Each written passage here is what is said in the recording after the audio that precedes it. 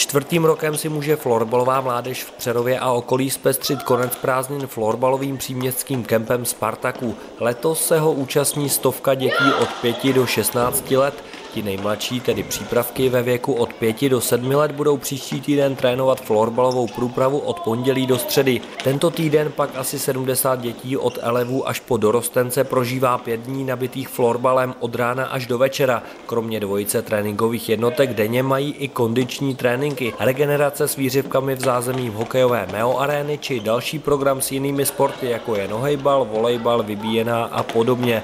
Na přípravu mladých talentů v Přerově se navíc přijede podívat i hlavní trenér extraligových brněnských buldogů Rostislav Kohút.